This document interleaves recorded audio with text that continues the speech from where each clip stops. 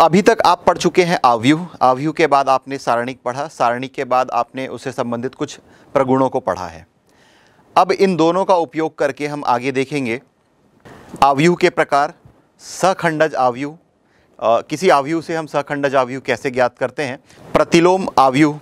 और फिर इन सबको पढ़ लेने के बाद हम युगपत समीकरणों को हल करने के लिए आव्यूह का प्रयोग करेंगे। तो चलिए आइए देखते हैं इन चीज़ों को। सहखंडज आव्यूह एडजॉइंट ऑफ़ अ मैट्रिक्स तो मान लो कि कैपिटल ए ये एक मैट्रिक्स है और इसे हम दर्शा रहे हैं ए आई जे से। इसका जो क्रम है ये एन क्रॉस एन का एक वर्ग आव्यूह है। मान लेते हैं कि कैपिटल ए आई जे सारणिक ए में अवयव ए आई जे का सहखंड है। तब आव्यूह ए आई जे आव्यूह ए का सहखंडज सारणिक कहलाता है।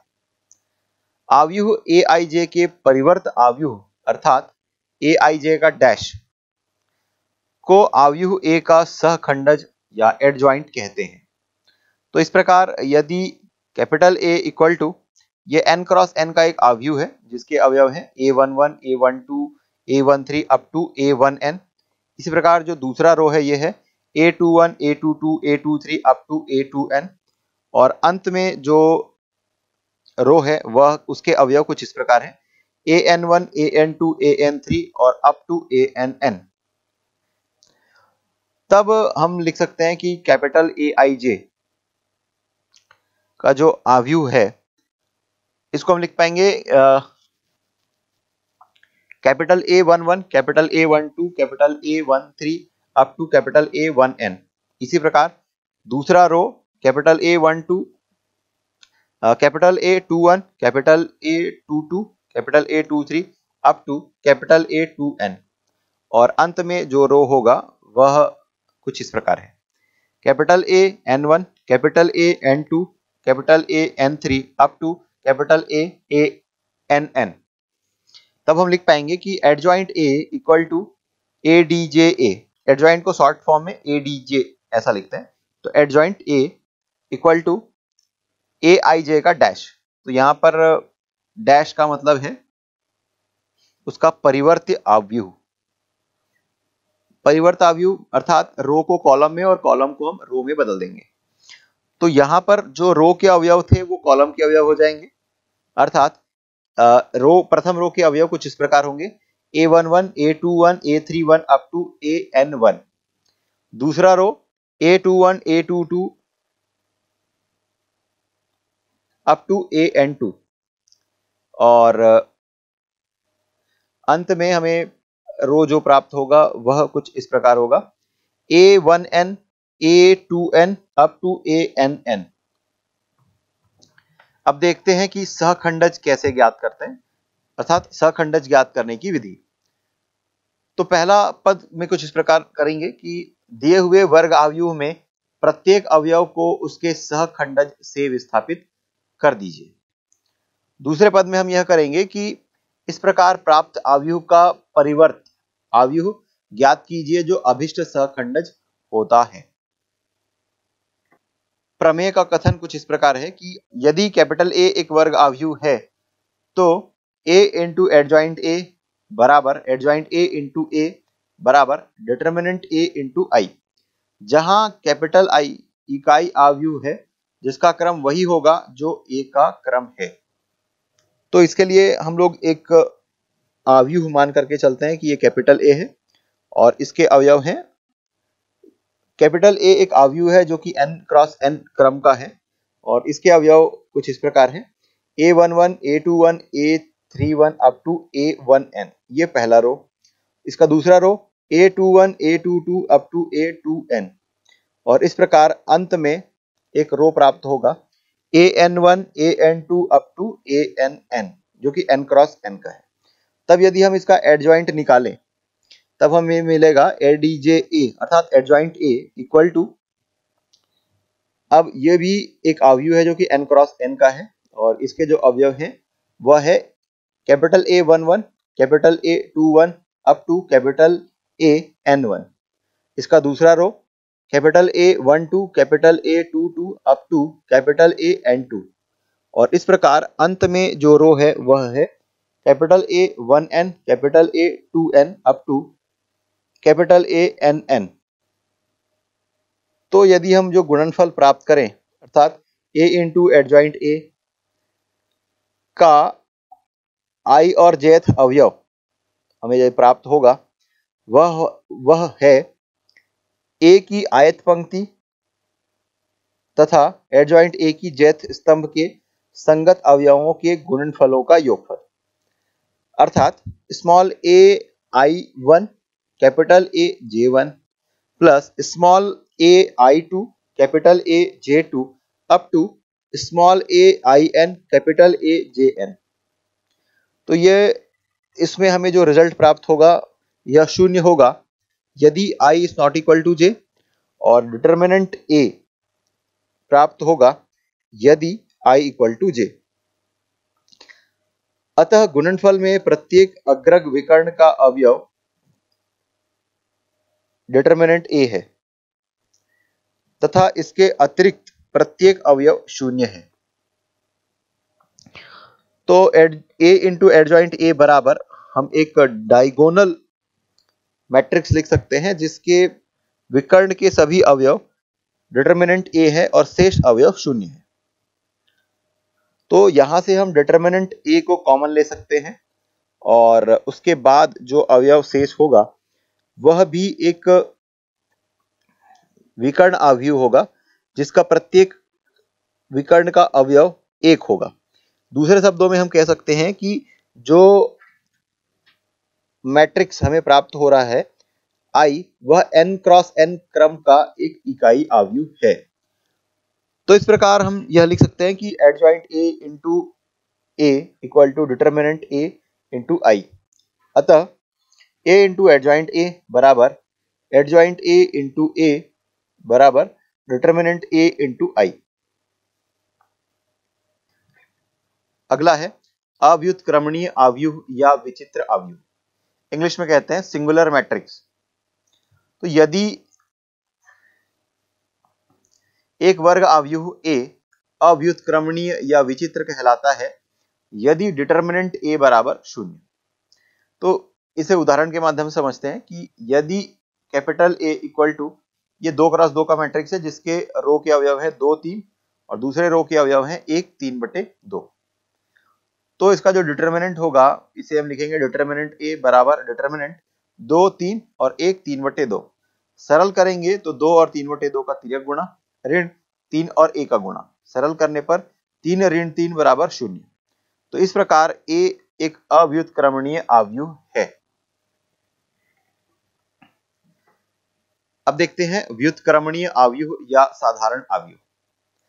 इंग्लिश में कहते हैं कि नॉन सिंगुलर मैट्रिक्स और रेगुलर मैट्रिक्स ए एक वर्ग आव्यूह. यदि वर्ग आव्यूह कैपिटल ए व्युत्क्रमणीय या साधारण आव्यूह कहलाता है यदि determinant A is not equal to zero अर्थात जो आव्यूह हमें दिया गया है उस, उसको सारणिक बना करके यदि सरल करें और उसका मान यदि शून्य के बराबर प्राप्त ना हो तो ऐसे वर्ग आव्यूह को व्युत्क्रमणीय या साधारण आव्यूह कहते हैं। उदाहरण के लिए यदि a equal to one two three four ये दो टू क्रॉस टू का एक मैट्रिक्स या आव्यूह है तो डिटर्मिनेंट a बराबर हम लिखेंगे one two three four solve करने पर four minus six equal to minus two which is not equal to zero अतः कैपिटल ए या अतः ए एक व्युत्क्रमणीय आव्यूह अब आगे देखते हैं सहखंडज आवयु के गुण। अब आगे देखते हैं सहखंडज आवयु के गुण। प्रॉपर्टीज़ ऑफ़ एडजॉइंट मैट्रिक्स तो इसमें पहला गुण यह कि यदि ए कोई वर्ग आवयु हो तो ए इंटू एडजॉइंट ए बराबर एडजॉइंट ए इंटू ए बराबर डिटर्मिनेंट ए इंटू आई जहाँ आई एक वर्ग आवयु है जिसका क्रम एक एक क्रम के समान है। ये हम लोगों ने थोड़ी देर पूर्व एक प्रमेय देखा था। ये वही गुणधर्म है जिसको हमने सिद्ध किया था। दूसरा गुण, यदि ए कोई वर्ग आव्यूह हो तो adjoint A dash equal to adjoint A whole dash तीसरा गुण, सममित आव्यूह का सखंडज आव्यूह भी सममित होता है। चौथा गुण, विकर्ण आव्यूह का सहखंडज आव्यूह भी विकर्ण आव्यूह होता है। और पांचवा गुणधर्म यदि ए और बी एक ही क्रम के वर्ग आव्यूह हो तो adjoint of A into B equal to adjoint of B into adjoint of A यहाँ पर आपको क्रम को ध्यान देना आवश्यक है। एडजॉइंट ए और बी दोनों प्रोडक्ट में है उसका एडजॉइंट निकाला जाए। एडजॉइंट बी का जो प्रोडक्ट मिलेगा एडजॉइंट बी जो मिलेगा और एडजॉइंट ए मिलेगा, दोनों का गुणन के बराबर या गुणनफल के बराबर होगा। तो इस प्रकार और कुछ आव्यूह के प्रकार देखते हैं, जिसका की उपयोग हम प्रश्नों को सरल करने के लिए करेंगे। तो यदि आव्यूह एक ए एक वर्ग आव्यूह है आव्यूह ए वर्ग आव्यूह है, यदि आव्यूह ए, पहला कथन है कि लांबिक आव्यूह ऑर्थोगोनल मैट्रिक्स हो तो A dash A equal to A dot A dash equal to I, जहाँ पर ए डैश या ए का पावर टी परिवर्त आव्यूह है। तो इस प्रकार आप लिख सकते हैं ए का पावर टी इंटू ए बराबर ए इंटू ए का power T equal to I. दूसरा प्रतिकेंद्रज आव्यूह involutory matrix A square equal to यदि आपको आई सी प्राप्त होता है तो उस मैट्रिक्स को या उस आव्यूह को हम प्रतिकेंद्रज आव्यूह कहते हैं। सममित आव्यूह या सिमेट्रिक मैट्रिक्स यदि A dash equal to A या फिर ए का power T equal to A प्राप्त हो तो इस प्रकार ए को हम सममित आव्यूह कहते हैं। विषम सममित आव्यूह, या स्क्यू सिमेट्रिक मैट्रिक्स तो A dash equal to minus A प्राप्त होता है, या फिर ए का power T equal to minus A सम सम आव्यूह, या idempotent matrix A square equal to यदि आपको ए प्राप्त होता है तो हम ए को सम सम आव्यूह, या आइडेम्पोटेंट मैट्रिक्स कहते हैं। शून्य सम आव्यूह, या निलपोटेंट मैट्रिक्स यदि ए का power M equal to zero हो या शून्य आव्यूह प्राप्त हो तो हम वर्ग आव्यूह ए को घात m का शून्य सम आव्यूह कहते हैं। इस प्रकार यदि A square equal to zero प्राप्त हो तो हम कहेंगे कि वर्ग आव्यूह ए घात दो का शून्य सम आव्यूह है। अव्युत्क्रमणीय आव्यूह या सिंगुलर मैट्रिक्स तो आपने देखा कि डिटर्मिनेंट ए इक्वल टू यदि ज़ीरो होता है तो उसे हम अव्युत्क्रमणीय आव्यूह या सिंगुलर मैट्रिक्स कहते हैं। और अव्युत्क्रमणीय आव्यूह या साधारण आव्यूह determinant A is not equal to zero यदि ए और बी दो समान क्रम के वर्ग आव्यूह हो तो हम लिख सकते हैं determinant of A B equal to determinant A into determinant B जहाँ डिटर्मिनेंट ए या DET A equal to determinant A तो एक तृतीय कोटि का आव्यूह दिया गया है, जो कि तीन बाई तीन का है। इसके अवयव कुछ इस प्रकार हैं। एक शून्य दो दो एक शून्य, तीन दो एक। इसका हमें सखंडज आव्यूह ज्ञात करना है। तो इसे सरल करने के लिए पहले हम आव्यूह लिखते हैं। तो दिया गया आव्यूह है। माना कि ये ए है। ये अवयव है। एक शून्य दो। दो एक शून्य और तीन दो एक। ये अवयव दिया गया है। और हमें सहखंडज अवयव ज्ञात करने के लिए कहा गया है। सहखंडज अवयव ज्ञात करने के लिए हमें पहले सभी अवयवों का सहखंडज ज्ञात करना होगा या सहखंड ज्ञात करना होगा। तो चलिए सहखंड याद करते हैं। आपको यह पता है कि A I J equal to minus one का power I plus J M I J ये होता है। एम का मतलब माइनर या उपसारणिक होता है। तो एक एक अवयव का हम लोग पहले सहखंड याद कर लेते हैं। तो ए वन वन यहाँ पर ये ए वन वन है, इसका उपसारणिक एक शून्य दो एक। तो ये हमें मिल जाएगा माइनस वन का power one plus one M one one अर्थात ये धनात्मक संख्या मिलेगी मतलब धन एक और इसे गुणा करेंगे तो एम वन वन सारणिक का मान एक शून्य दो एक। सरल करते हैं, एक से इसका गुणा करेंगे, मिल जाएगा एक और ऋण दो से शून्य का गुणा करेंगे शून्य। तो इस प्रकार ए वन वन आपको मिल गया है एक। इसी प्रकार ए वन टू ये आपको मिल जाएगा माइनस एम वन टू इस अवयव के रो और कॉलम को छुपा दीजिए तो जो उपसारणिक बचेगा या उपसारणिक बनेगा वो होगा दो शून्य तीन एक। तो इसे हम लिखेंगे दो शून्य तीन एक। सरल करते हैं, आपको मिल जाएगा दो। इसी प्रकार ए वन थ्री, ये आपको मिल जाएगा एम वन थ्री। तो इस रो और कॉलम को छुपाइए, दो एक तीन दो। दो एक तीन दो। सरल करते हैं दो दुनी चार, ऋण तीन बराबर एक। यहाँ पर ये माइनस चिन्ह है तो यहाँ पर ये ऋण चिन्ह के साथ में ये ऋण आ जाएगा। तो उत्तर में हमें जो मिल रहा है, ये ऋण दो है। इसी प्रकार आगे सरल करते हैं। एक, दो, एक। तो ये दो और एक तीन तो यहाँ पर ये ऋण चिन्ह के साथ में दो एक मिल जाएगा।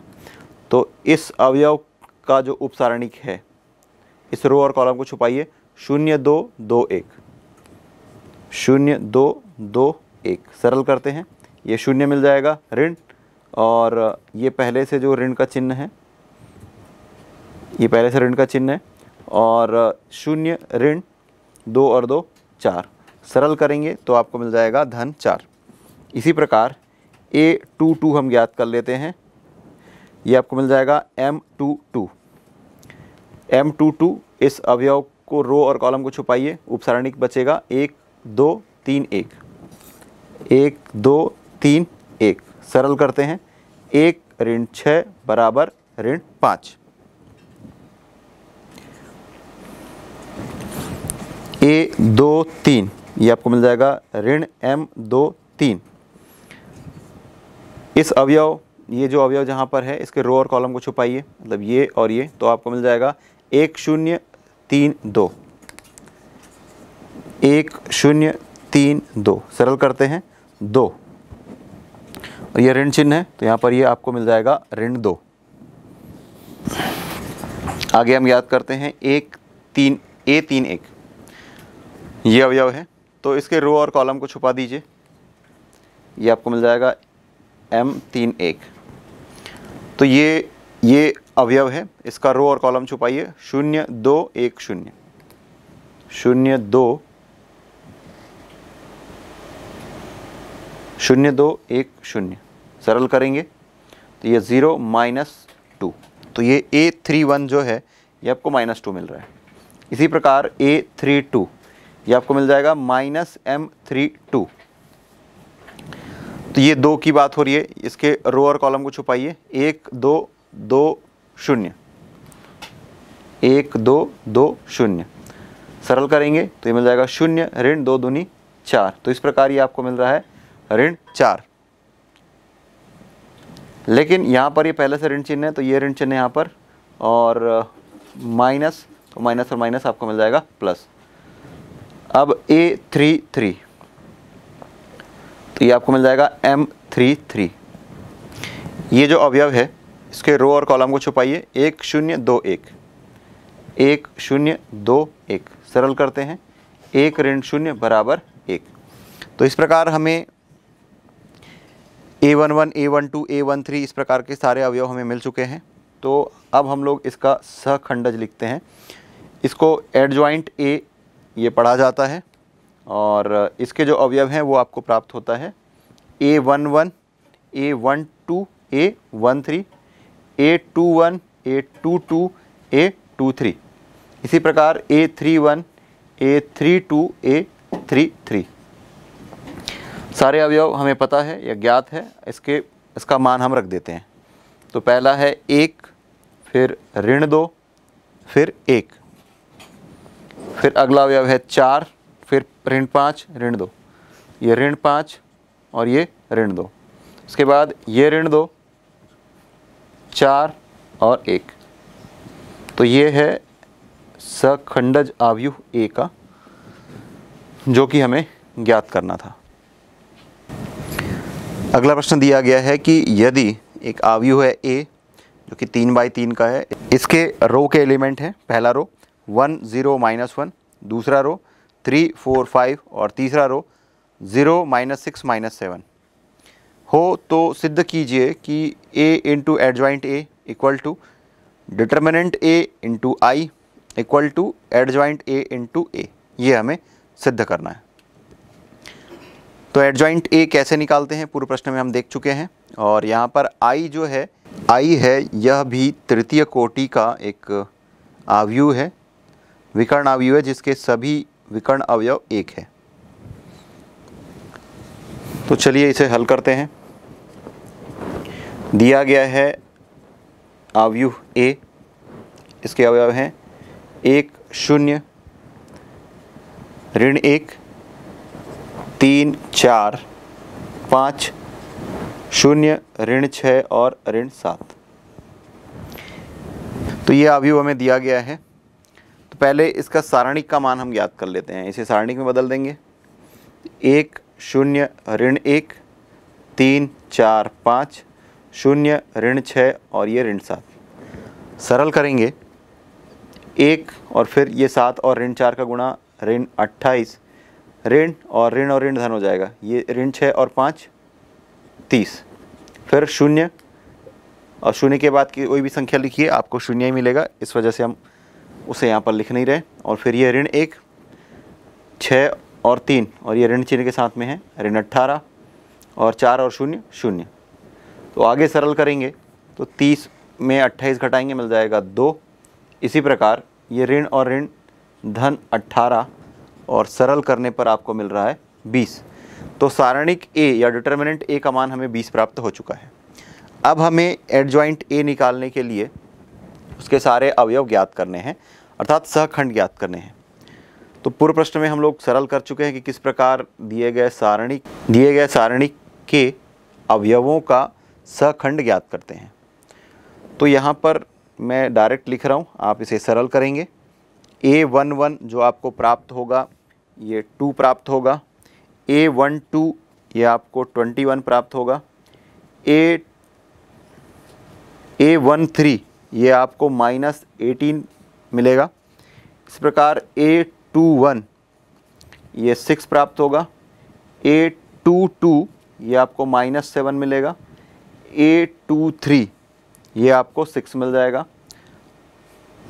और ए थ्री वन ये आपको मिलेगा फोर ए थ्री टू ये आपको मिल जाएगा माइनस एट और ए थ्री थ्री ये आपको मिल जाएगा फोर अब आपको पता है कि हम एड ज्वाइंट ए कैसे लिखते हैं? एड ज्वाइंट ए और इसके अवयव होता है एक A one one A one two A one three इस क्रम में परिवर्तन हो जाता है। A two one A two two A two three फिर A three one A three two A three three तो इन सारे अवयव को हम अवयव के रूप में लिख देते हैं। ए वन वन दो दो, फिर इक्कीस और फिर ये ऋण अट्ठारह फिर इसी प्रकार छः ऋण सात छः और चार, ऋण आठ, चार।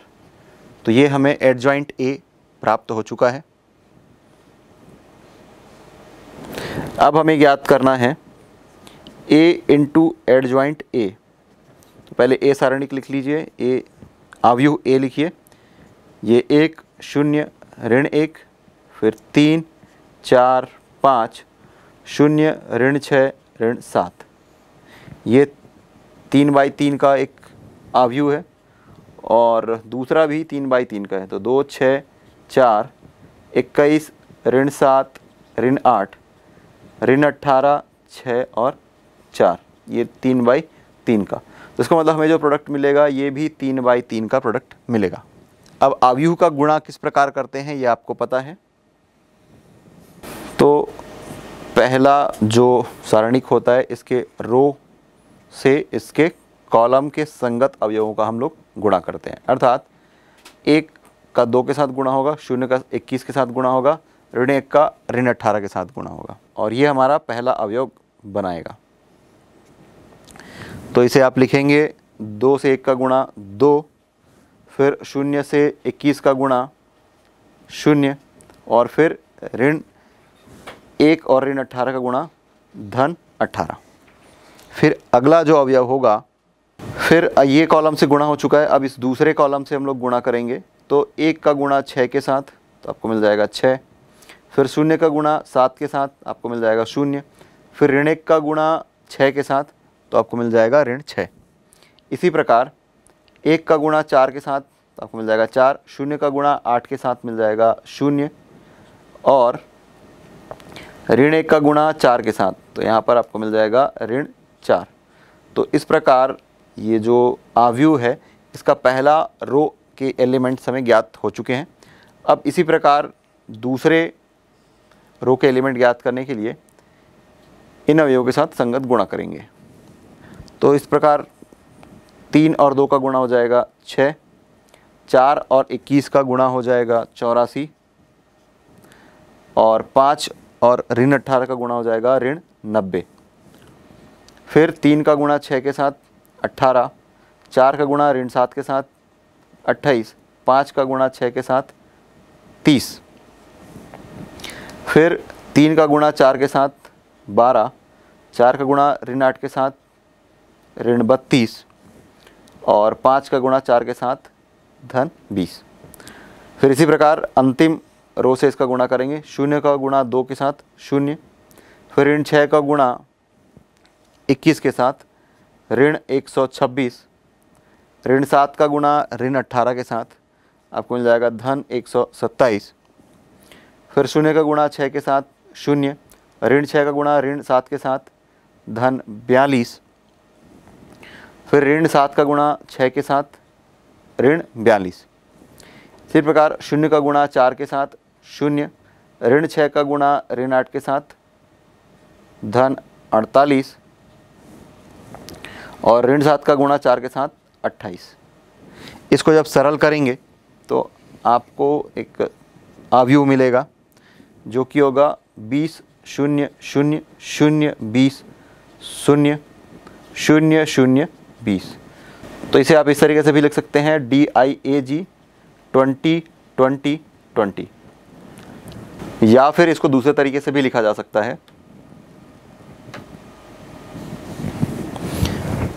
यदि इन सारे, यदि इस अवयव से 20 को उभयनिष्ठ निकाल लिया जाए तो यहाँ पर डायगोनल अवयव, एक एक एक, यह हमें मिल जाएगा। और 20 का जो मान है, यह जो 20 है, one, zero zero zero, one, zero zero zero, one. ये 20 जो है, ये हमें डिटर्मिनेंट ए प्राप्त हुआ था तो इसे हम लिख सकते हैं डिटर्मिनेंट ए और ये जो है ये आई है। तो मान लेते हैं कि ये आपका समीकरण एक है। तो a इंटू एडजॉइंट ए हमें मिल चुका है। अब हम लोग एडजॉइंट a इंटू ए यह ज्ञात करेंगे। पुनः एडजॉइंट a और a का हम गुणा करेंगे।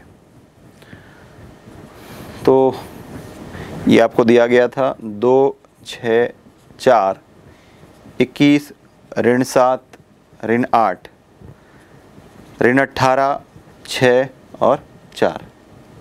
और ए, ये मान आपको दिया गया था, एक शून्य, ऋण एक, तीन, चार, पाँच, शून्य, ऋण छः ऋण सात। इन दोनों का गुणा करना है। तो सारणिकों तो आव्यू का गुणा किस प्रकार करते हैं, ये आपको ज्ञात है। पहले इस रो का गुणा इसके पहले कॉलम के संगत अवयव से करेंगे। तो दो का गुणा एक के साथ करेंगे, हम मिल जाएगा दो। छः का गुणा तीन के साथ करेंगे, मिल जाएगा अट्ठारह चार का गुणा शून्य के साथ करेंगे, मिल जाएगा शून्य। इसी प्रकार दो का गुणा शून्य के साथ इस दूसरे कॉलम के अवयवों के साथ करेंगे तो मिल जाएगा शून्य। फिर छः का गुणा चार के साथ चौबीस और चार का गुणा ऋण छः के साथ ऋण चौबीस।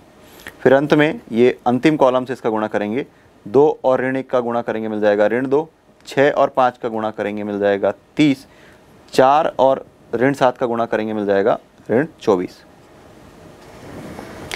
इसी प्रकार दूसरे रो से इसका गुणा करते हैं तो 21 का गुणा एक के साथ करेंगे, मिल जाएगा 21 फिर ऋण सात का गुणा तीन के साथ करेंगे, मिल जाएगा ऋण 21 और शून्य का गुणा आठ के साथ करेंगे, मिल जाएगा शून्य। फिर 21 का गुणा शून्य के साथ शून्य, फिर ऋण सात का गुणा चार के साथ ऋण अट्ठाईस और ऋण आठ का गुणा ऋण छः के साथ। धन धन अड़तालीस। अब फिर 21 का गुणा ऋण एक के साथ करेंगे तो मिल जाएगा ऋण 21 ऋण सात का गुणा पाँच के साथ करेंगे तो मिल जाएगा ऋण 35 और ऋण आठ का गुणा ऋण सात के साथ करेंगे तो मिल जाएगा धन छप्पन।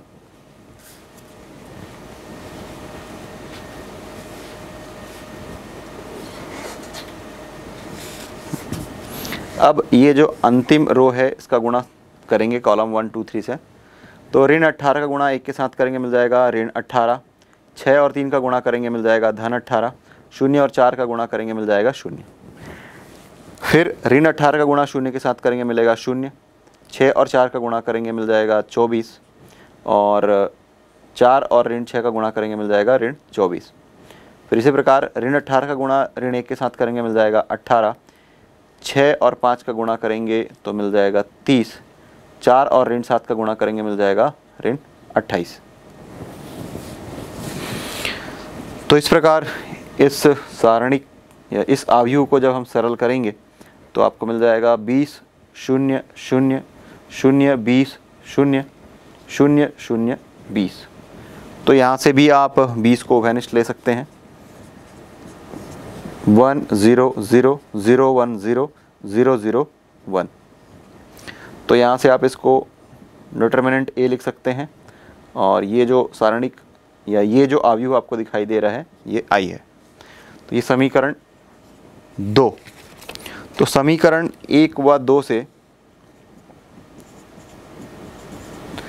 से हम यह लिख सकते हैं कि ए इंटू एडजॉइंट ए बराबर determinant A